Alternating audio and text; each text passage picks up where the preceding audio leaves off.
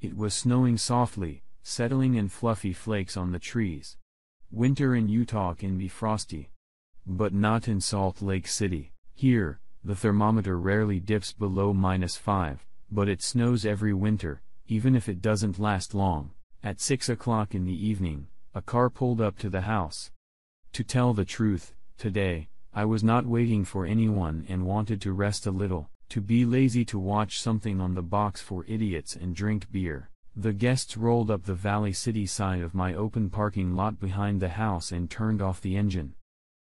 I looked out the kitchen window, a Chevy Silverado, so the father-in-law had arrived. Or rather ex-father-in-law. I turned on the coffee maker and went to greet the visitor wondering what he needed from me on this winter evening. I even wondered if something was wrong with Doris. Maybe she's sick. No. She wasn't, it was Doris herself. Doris Day Adrian, my ex. Shit. It's been six months, opening the door and seeing my Doris. Fuck. My what? It hasn't been my for six months now, still, it was good to see her, honestly, we hugged, and I helped her take off her coat, shaking the snow off. Should I say I was burningly curious about the purpose of her visit? No. I can't say that, she came to visit. Thank you. What's the big deal? Dory didn't like coffee, it ruined the color of her teeth. And she's my goddammit. Not again. Oh, come on, she hasn't been at my place for a long time. Anyway, Doris is an orthopedic dentist, and she knows better than anyone I know how to take care of my teeth. I poured orange juice into a glass and set it on the living room table. Then I added plates of croissants and vanilla donuts. Day looked around the living room and probably noticed that nothing had changed since she left.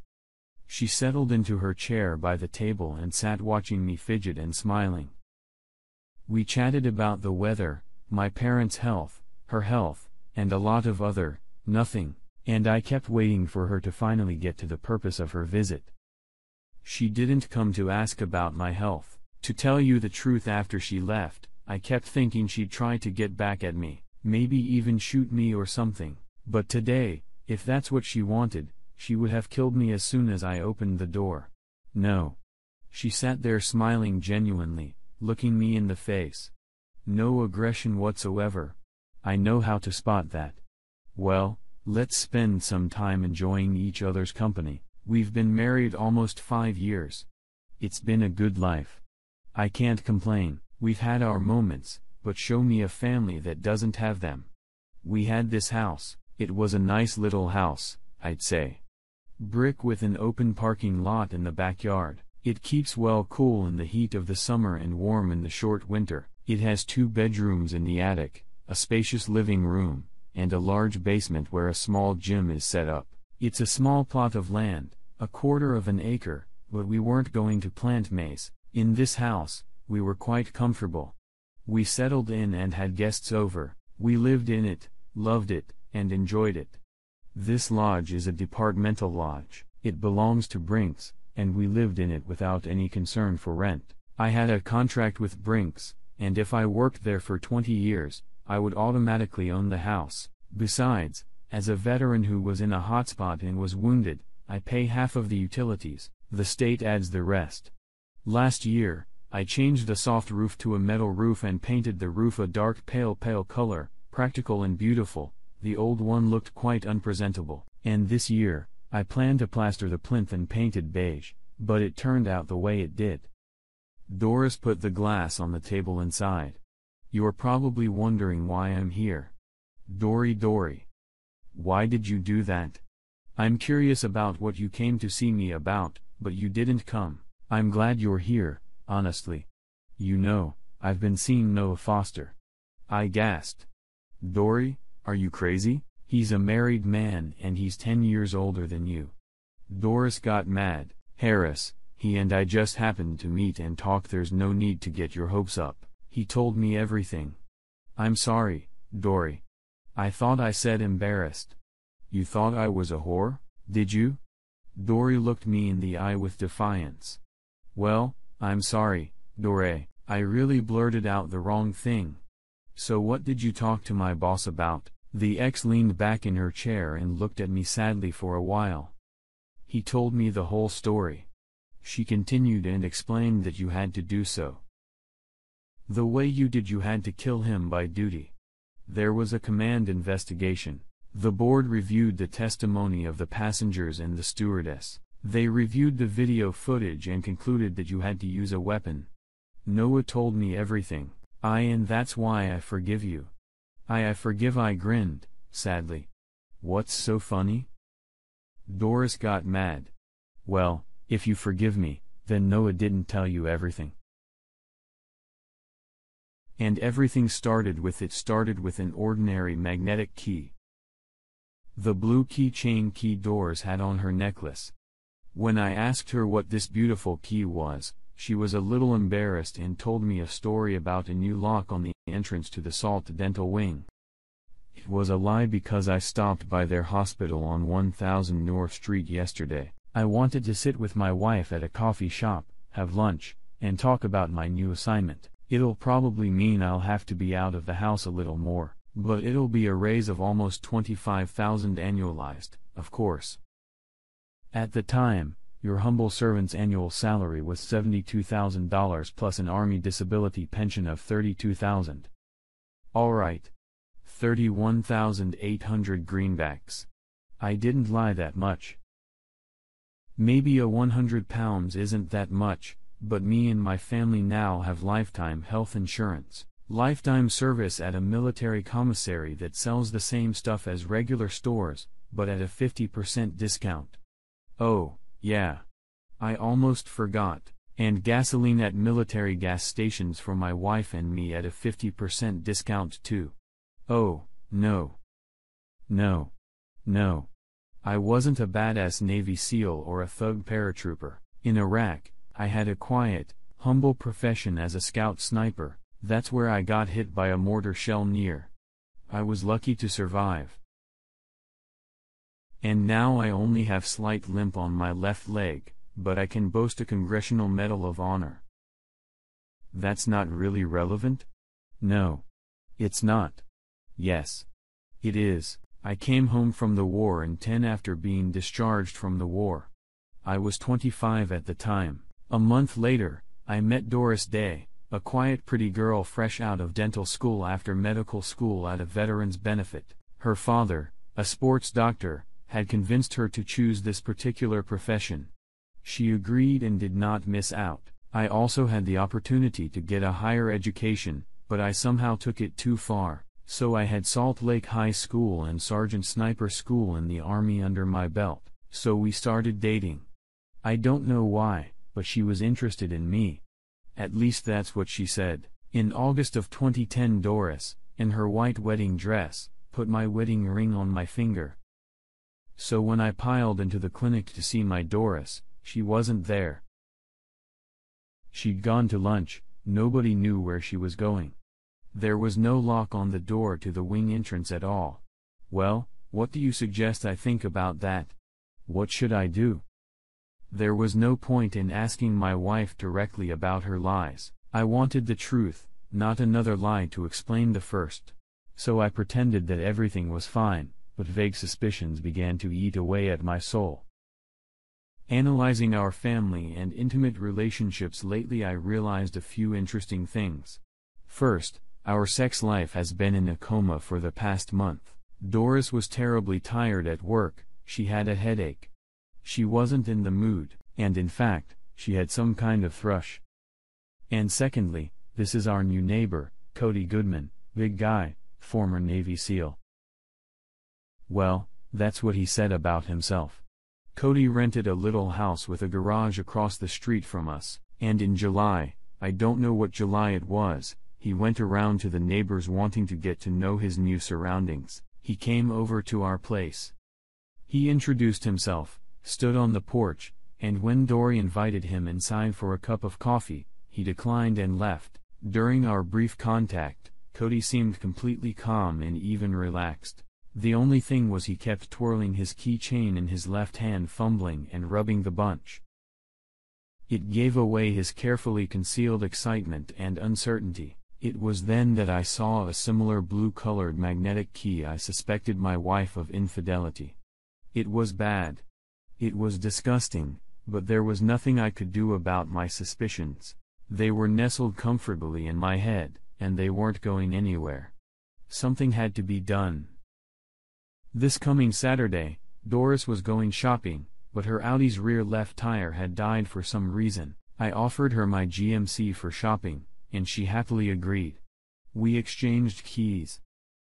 When Doris drove away, I quickly inflated the flat tire and drove down 1200 West to a Navas Market. I knew there was a shop there that made copies of keys, including magnetic keys. So I had a copy of the strange key in my hands.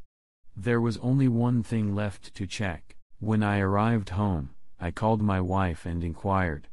Darling, when can I expect you? Not till tonight, Harris. I met Sandra. You remember her? She invited me over, so I'll see you tonight. Don't miss me. I wasn't going to miss you. I had some errands to run. Taking the new key, I crossed the road and knocked on our new neighbor's door. Then I knocked harder. No one was home. Well, the moment of truth. I applied the new key to the lockbox. It chimed, clicked, and the door opened. The world collapsed. All this, I was now telling Doris as a curious episode in my life. Damn it. Harris, you sly snake. I must have looked like an idiot on that trip. Jesus Dory, why like you were a fool in love? You've been so careless about your affair. I can't believe it, but, you know, that's not all let me make some calls. Okay? Dower was surprised, but she nodded in agreement. Then I dialed the chief's home number. Noah, I'm sorry to bother you. It's okay, Harris. What did you want from the old man? Noah, please tell me if the Tristan Wright case is still classified or if it's been declassified. I'll find out. I'll find out. And I'll call you back. All we have to do is wait a little longer. What does this have to do with Tristan? Dory was worried. Let's wait. A couple minutes later, Noah called back. Harris the case has been declassified. Why would you do that? Doris is here to see me, and I want to fill her in on the details. You know, she met with me once and we talked about the story, but I didn't give her the details. Thanks, Noah. You helped me out. I turned to Dory. Well, darling, you're ready to hear a sad story. Only it's a little boring. It's about you and me. Dower said. It's about you and me and Cody Goodman and Tristan Wright. Doris squinted warily. Well, tell me about it. And I did. Our late loving neighbor's real name wasn't Cody at all. His name is Tristan Wright. And he's not a paratrooper. He wasn't even in the army. He's a lone gunman. Last time, eight years ago, he robbed a cash truck from Phoenix to Kansas City. The boys were carrying 450 pounds of dilapidated bills. The collection was handled by Loomis, and they screwed up. Warren money is carried in a regular airplane only in a special compartment. They're escorted by two collectors. Tristan took a ticket on this plane and carried a parachute bag into the cabin. No one asked him anything about his somewhat odd carry-on. Backpack and backpack. The metal detector detected nothing. On the flight to Missouri, Tristan stabbed two armored car collectors. Not because they threatened him or tried to stop him, no. The guys would just get behind him while he was controlling the pilots. Just like that, just like that, he took a plastic knife and stuck it in each of them just to keep them out of the way, one in the throat, one in the eye. Armed with the pistols of the dead collectors, he very competently gave instructions to the pilots and slightly corrected the course of the plane. Then he put on a parachute took four collection bags, strapped them to a special harness, and parachuted out over the Eagle Bluffs conservation area. In all, he took nearly $3 million, and he was never found. For a half 1,000 acres of old growth forest where the fuck was he to be found? Anyway, he's gone. He's probably got a safe house out there somewhere, probably with a car. Or he walked asshole. Now I guess the poor guy must have gotten a little worn out after eight years. He enjoyed robbing and decided to do it again. Except we have federal facial recognition now. Hee hee, and then there's his marvelous robotic portrait with five witnesses. He was meticulous in his preparations. It was important to him to know when I was flying out to Missouri where we have two federal banks, so he controlled me through you. He found out that Brinks was moving money out of Salt Lake, and I'm in charge of getting the money bags from airport to airport. He needed to know the day and time of my flight. He could easily determine the flight number from the terminal schedule. Doris sat there with her mouth open, and I went on. You know Dory, when he was arrested, I asked him, did you have to ruin my marriage over such trivial information? I mean, he could have gotten it some other way. He said, it's more interesting that way. X sat there with a pained look. She sighed convulsively. He did say that. I interrupted. I know what he told you, he was being led by the by, and there were bugs and cameras all over the apartment. They showed me the porno movies they made of you. God. Dory moaned. They saw everything. Oh my god, oh my god. Oh my god. Then she jumped up. You knew in advance that Cody was lying to me and did nothing. How could you? Door, honey, listen to me. When I found out whose key you had, I got a call that night and was invited into the chief's office. There were three FBI sitting there, and they got me. They asked me what I was doing at the intruder's door. I explained. They didn't believe me, but in the end, I managed to convince them that I wasn't involved in the robbery. That's when they told me all this. I looked at Day with pity. The thing is at that point, everything had already happened. The marriage had broken down and couldn't be repaired, you had become a stranger. I was asked to hold back information not to get hysterical and to hold off on the divorce, which I did at my request. I was shown several pornographic videos starring you and Cody. I know he promised to marry you and take you to the Philippines. But he lied about everything, Dory, everything he told you was a lie. There was a couple of one million or two at stake, and he went for it through mangled fortunes and dead bodies. So you got off easy, he could have killed you in cold blood as an unwanted witness, so we left International Airport at 4 and had to arrive at Wheeler's Port by half past 6. When he got up from his seat in the cabin, the whole group realized that it had begun. I got up to stop him too because access to the back of the plane during the transportation of valuables is forbidden, and this was announced over the selector. Stopping in front of me, Tristan pulled out a plastic dagger and tried to stab me. He didn't know the cabin was packed with FBI agents.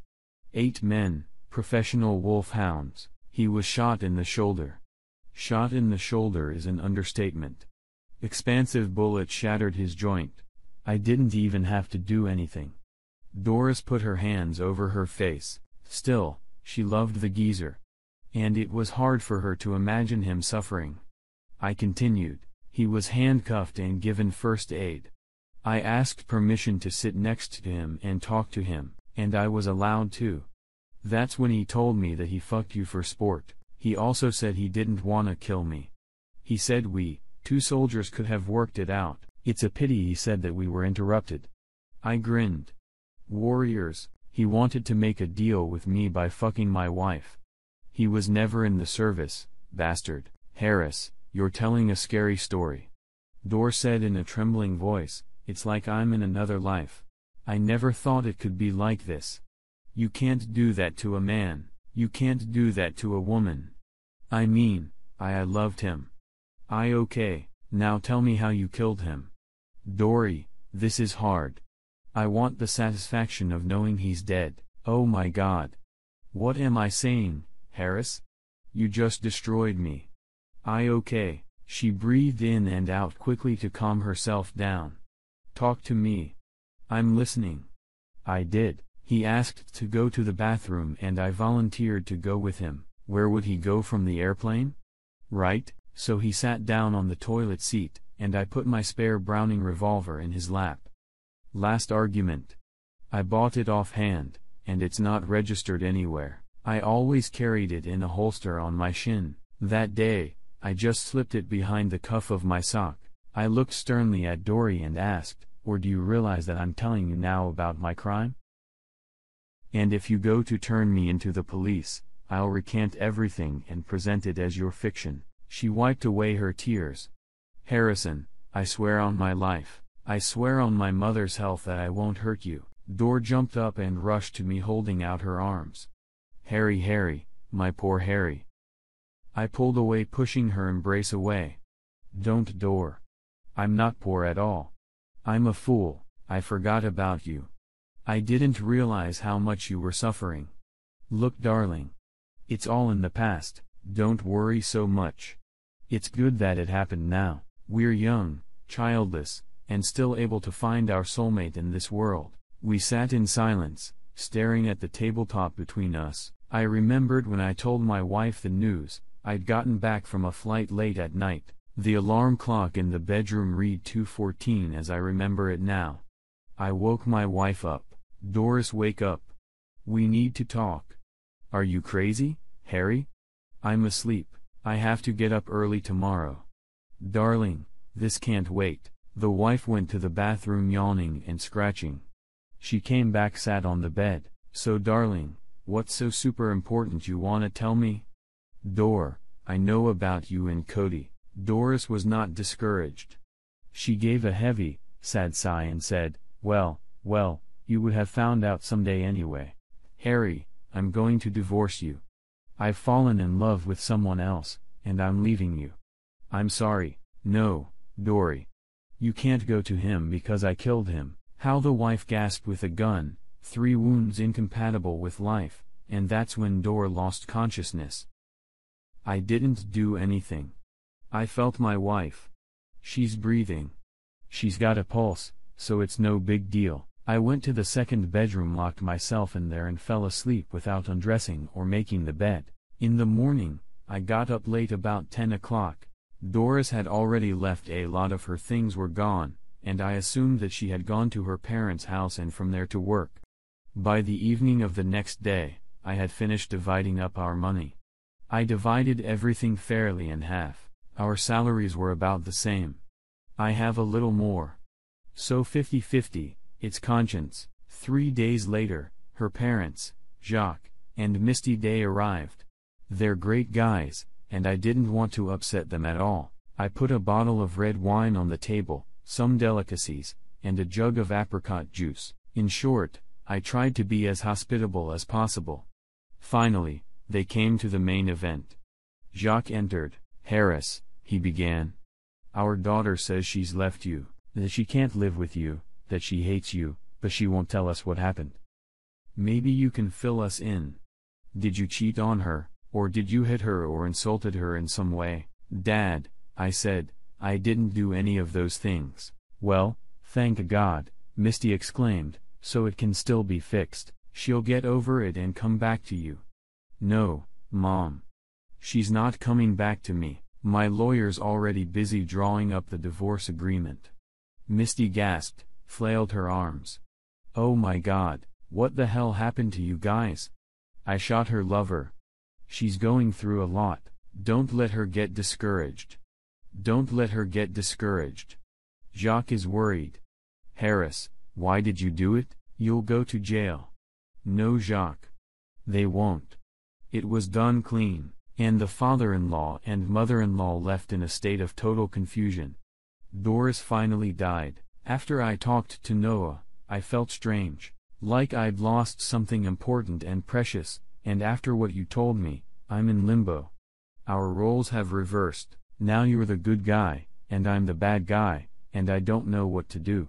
I shrugged, Dor, you don't have to do anything special, just move on with your life, find a good man, get married, have kids, move up the career ladder, it's simple. And then she came out. Harris, let's start over. What do you mean? I was surprised. Let's start dating, become friends. I interrupted. Dory, we're not enemies as it is. No, we need to become friends with benefits. Do you understand? Maybe you will realize the need to become husband and wife again later. I'm sorry, Dor, but I'm not ready for remarriage. So no. The ex is in a hurry. Wait, Harry, don't be in a hurry. Remember, we were good together. Well, think about it, I've already thought about it, darling. Now think about it. Why would you want a husband you don't love and who will cheat on you all your life? Doris froze in shock. But but but why? Why what? What made you think you'd be an unloved husband? I just shrugged my shoulders. I'm not going to lecture her about my feelings. It's not about her. It's that I'm gonna think that, and why would you cheat on me for the rest of my life? Would you want to hurt me as much as I hurt you? No. I don't wanna hurt you. I'll cheat on you. Probably because I don't feel obligated to be faithful to you. We were silent for a moment. Then Doris got up to leave. Come with me, darling. She put on her coat, hugged me, and said goodbye. I'll think about what you said. I'll try to find the strength to accept your cheating, and I'll try to find my way to your heart. And she left. I didn't tell her I was in a close relationship with my widowed neighbor. I mean, hell, Doris knows what she's up to. Right? And Ruby has two kids, and she's in dire financial straits. She's struggling, pulling her boys through. And if I'm not going to marry her yet, I'm not going to leave her to her fate. There's a lot I'd like to do for her, and I gotta tell you Ruby is 10 points ahead of my ex-wife in bed. She's so she's so you know what I mean. So let Doris think all she wants, but it's not gonna get us anywhere.